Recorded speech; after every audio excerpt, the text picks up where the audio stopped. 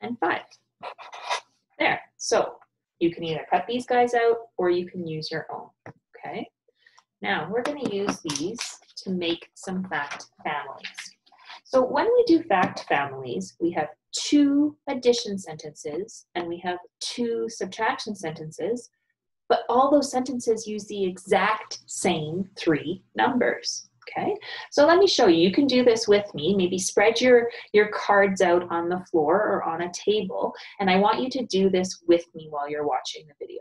Okay, so the first thing I want you to do is find a plus sign and find an equal sign. And you're going to set them out on your floor or your table like we're writing a number sentence, but there's no numbers in it yet. Just like that. So something plus something equals something. That's how we set up a fact family. Find your other plus sign and one more equal sign, and you're going to lay them out underneath. So like we're making another number sentence. We just haven't put the numbers in there yet. We'll get there. Okay something plus something equals something. Now, fact families have two addition sentences and two subtraction sentences. So now let's use our subtraction. So we're going to find one subtraction sign. Careful, they can look like ones, but they're sideways. And we're going to put it on our floor or our table. We're going to say something minus something else, and then we need an equal sign. It can look like an 11 too, see that? but make sure it's going sideways. that. All right, something minus something equals something. Let's do it one more time. And then we have our four fact family sentences. Fact families are kind of neat. They have four number sentences, all from the same three numbers. So four number sentences one, two, three, four, two that are adding, two that are subtracting, all from the same three numbers. So now look through your numbers that you wrote down or cut out and drop one on the floor. Get back here. See if you can find the one, the two, and the three. Those are the ones we're going to use first.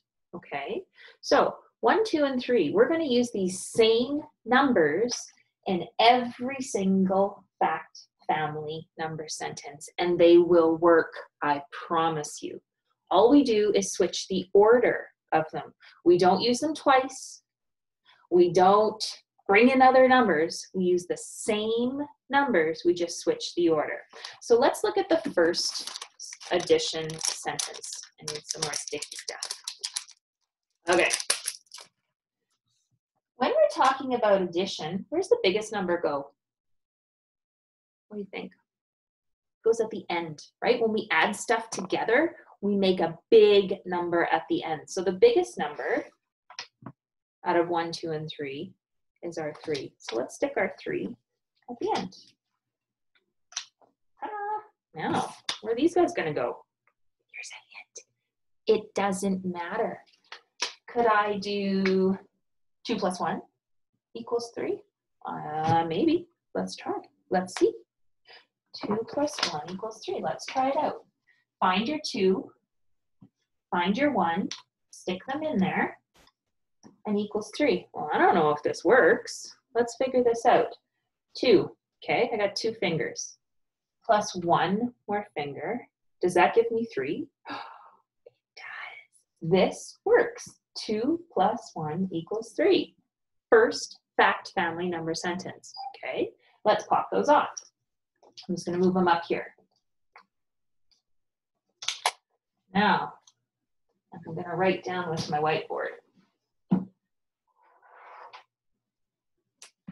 We did 2 plus 1 equals 3. Now let's think of another one that we could make. Okay, well, we know if it's an addition sentence, the answer has to be the biggest number. So I'm going to put my 3 there right away.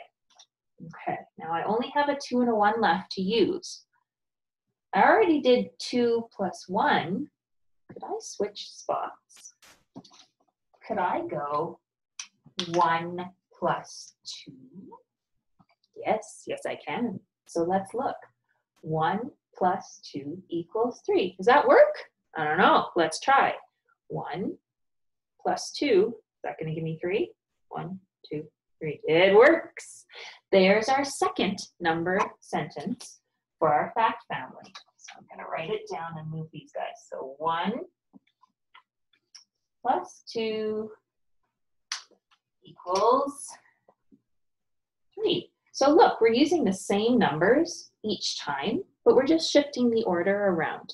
Wow, subtraction. We're going to use the same three numbers every time. Something different though. With addition, the biggest number came at the end. Do you know where the biggest number goes for subtraction sentences? Not at the end. We always start with the big group and take away some. So we're going to start with our big number.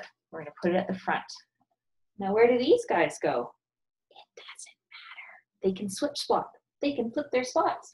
So let's use the one we got here. 3 minus 1 equals, well, we got a 2 left. Let's stick the 2 there. Let's see if it works. This time, I'm going to draw a quick picture. 3, 1, 2, 3, minus 1. Let's take 1 away. Does it equal 2? Yes, it does. If I take this guy away, I have 1, 2 left. So this fact family works too. 3 minus 1 equals 2. Let me write that guy down and we'll stick these guys back up here. Oh, we're down to our last fact family. 3 minus 1 equals 2. Okay, when we do subtraction, where does the biggest number go? Not at the end, that's addition. It goes at the start. Subtraction starts with the biggest number. Subtraction starts with the biggest number. Addition ends with the biggest number. Addition ends, subtraction starts. So three. Now last time we did three minus one. I don't want to do that again. I want to change it. So I'm going to go three minus, not one, two. So let's pop that guy in there. Three minus two, all I got left is one. Let's check it out. Three minus two equals one. Let's try. Three minus two equals how many? I got one. Three minus two equals one. There's our four fact family number sentences for these three numbers. We got three, we got two, and we got one. Sometimes you'll see them. I know I shouldn't be using my hands on my whiteboard. I don't know where my eraser is. Sometimes you'll see them like that, kind of like a triangle or a house. And then we have all our fact family number sentences. I could even turn this into a house. Look. Ta-da! There's my house. Okay, so we're always using the same three numbers. And we have two addition sentences and two subtraction sentences. Now, you try using 9, 4, and 5 and see how you can put those in there, two addition and two subtraction, to get the right answer.